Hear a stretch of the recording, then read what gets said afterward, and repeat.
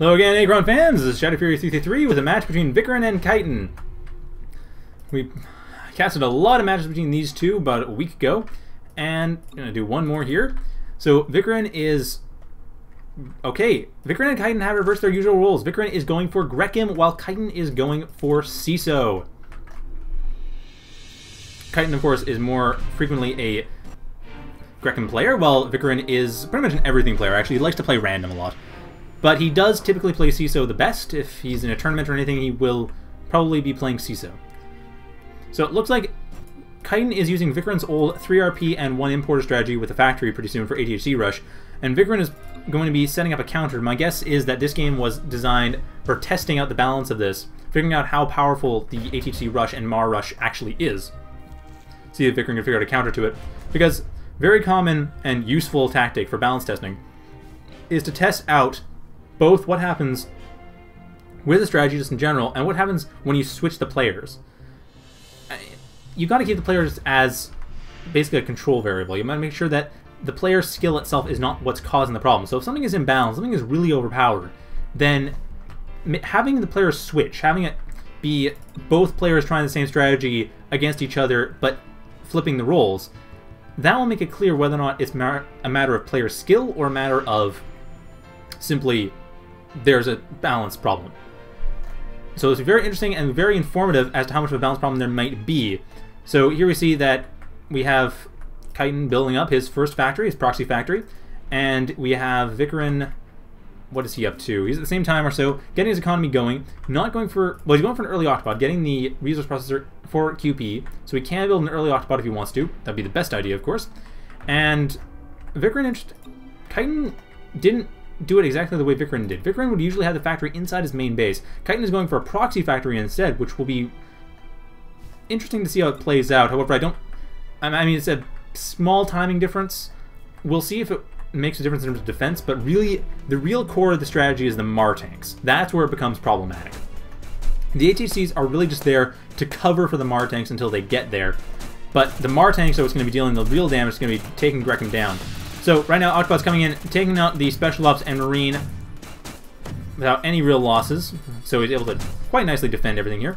And the Octo is setting up for, looks like he's going to Progen and a Seppi, use that to get a Reef, and then from there probably get Tech. Or no, sorry, get healing at first, and then from there get Tech once he's in a safer position. So right now, there's an HHC coming in, two HHCs coming in. Kytin will be going for attack momentarily. He actually has his HHCs hierarchy up to the special ops. and I'm a bit surprised they aren't... Oh. Oh, shoot. That sucks. He put his HHCs... He got to move his HHCs around. He put the factory in a bad spot. He's going to have to go back and replace that. The HHCs are now kind of stuck between the factory and this wall here, and they aren't really sure they can't get through. So Kytin's going to have to go change that up. Not sure if he's going to actually recognize that and fix it. I kind of hope he does, though, because that would suck if this just fell apart because Kytin placed his factory in a slightly wrong place.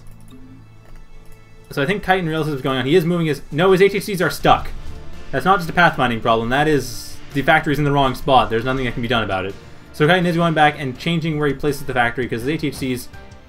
No! Needs to undo. Needs to undo. Go back. And put that in the right spot. There we go. So now the HHCs will be able to get out and join the fight. This actually was interesting because it means that Kytin will be hitting that close to the unplayable past edge, so it'll be harder for Vicarin to actually defend against this, but I don't know how that'll work out ultimately. I don't think it'll be a big difference. Like I said, though, I'm guessing some reefs will be coming up, and there's the HHCs we saw before. Don't ignore those. They are not relevant. They are not going to exist. Different HHCs are going to exist once that factory gets built up. So Vicarin at the three minute mark has a reef going up, so he will be able to heal up. He will be able to protect himself, trying to build up this little force he's got going, the Octopod, for defense. And once that's done, then we'll see what happens with the ATHCs. Now, of course, like I said, the core of the strategy is the ATHCs to cover the construction of the macrofab and then the construction of Mar tanks.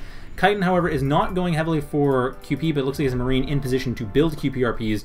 Once he gets a bit more cash, once he gets a bit more secure position to build that, he still needs those QPRPs, though, quite a bit, actually. But we'll see what happens, and Vicarin actually jumping back to the Imperial Past Edge. Looks like Kytin is waiting until he gets his ATCs out before he goes forward with the Special Ops and Marine, which will give Vicarin a bit better chance to set himself up and set his project progen going and get his reef going and possibly even get tech going if he gets the money for it in time. Kytin, however, from his point of view, at the well, he was about 30 seconds up from here. He does have an ATC up. Second ATC is coming along, and they are now attacking all together. Well, will be. They're very slowly moving forward. He's not on priority move, and he does have a QPRP building up. So Kytin will be able to get the QP needed in about three minutes or so to get a macrofab unless he builds another QPRP. And here comes the main attack. And like I said, Kytin has left Vicarin a bit more of a chance to prepare. And it looks like these agencies will be fended off quite handily. The Reef and Octopod mix just... That's the defense. That's how you're defending against the HHCs. The main thing, of course, is covering for the mech, which is going to be building the macrofab.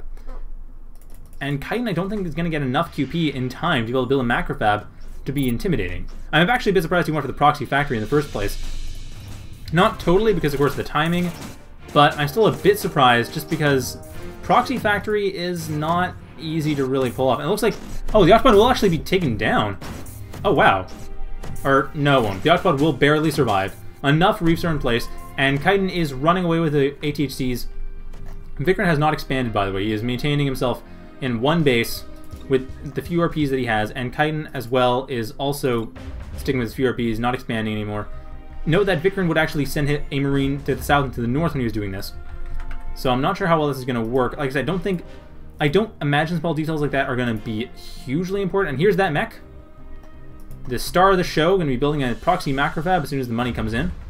Which it's not going to anytime soon, unfortunately. He really does need to have... it.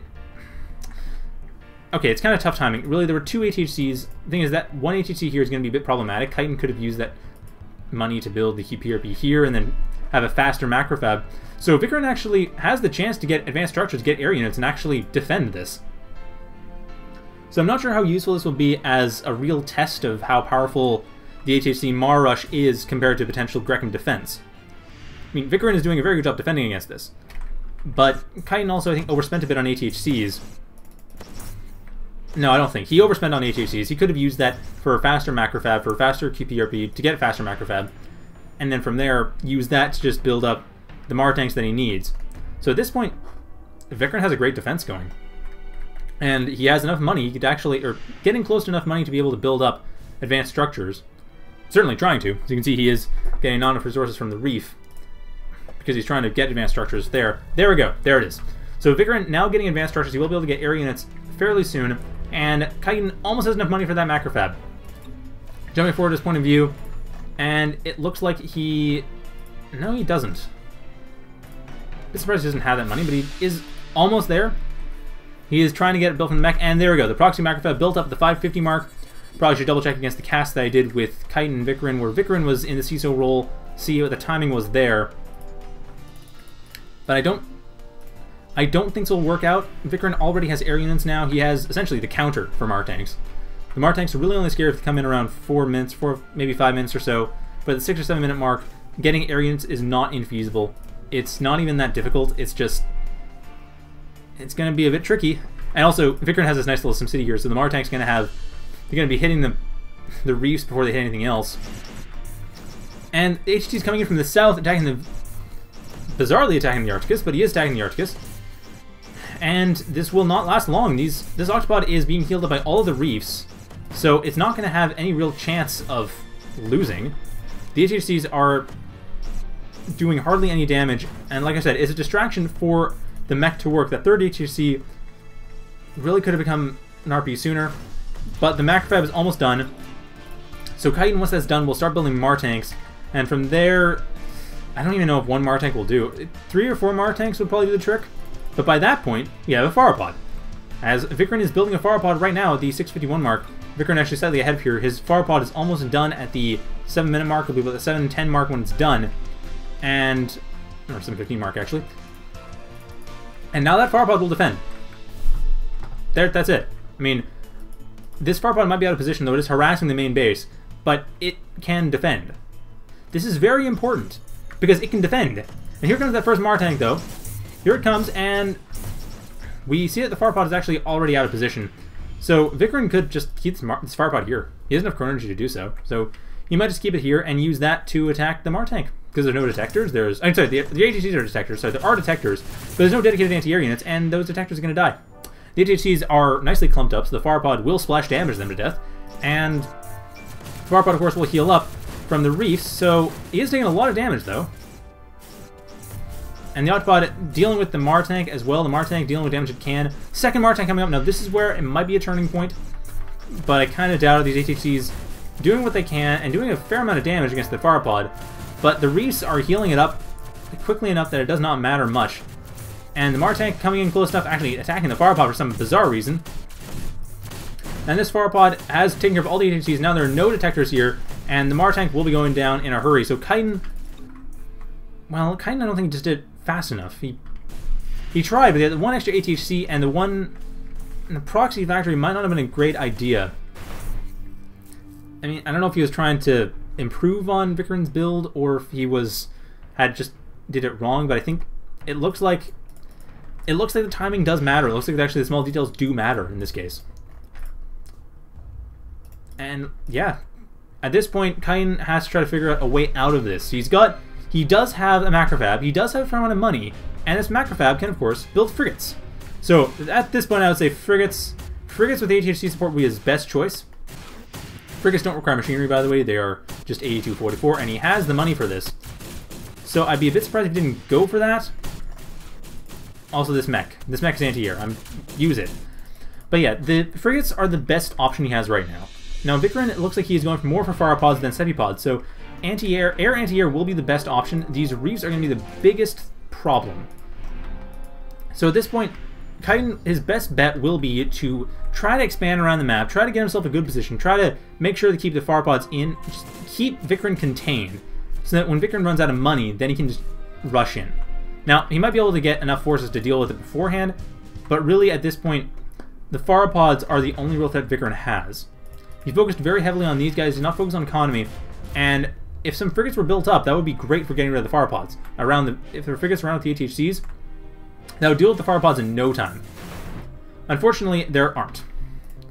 And as a result, there's nothing really available that's great anti-air. ATHCs are good anti-air, but they're not great anti-air. And Pharopods are bombers, and you need great anti-air to deal with bombers well. Especially when you have a reef support nearby. That's just hard to deal with. The only real saving grace right now was that the Pharopod was not the only thing being attacked, but now it is, so really the Reefs are able to heal it up without any issue at all. Vicarin is now in a wonderful spot, absolutely wonderful spot. The only downside, like I said, is that he has a hard time really getting out. But he is trying to. He is making sure that Kytin does not know what's going on here, trying to distract him with Pharopods in the main base. And the main attacks, of course, aren't doing much. Kytin's very focused on taking down that main base. And he is getting a frigate. Good. I'm glad to see that. He does have a frigate. He could use a couple more, and got some more ATCs. I would not recommend getting machinery quite yet. This is his main base is under attack. He has no importers, and he is really actually in a bit, he's in a tight spot right now. And Kytin actually decides he's too tight of a spot. He shall surrender. So that was the game. It's a short game. Interesting demonstration of a good Grekim defense, but I, I'm still a bit suspicious that it might not be enough. That being said, the next release of the game will switch around the rules of Mars and Twin Mars. So the Mars will now be just anti-ground shock troops, while the Twin Mars will be the splash artillery. So I don't even think this is that. It's not that relevant, but I just thought it'd be interesting to see what happens, what what Vicarin would do in response to Kytin's move. So I hope you enjoyed that, and that's going to be it for me tonight. So thank you for watching, everyone, and have a good night.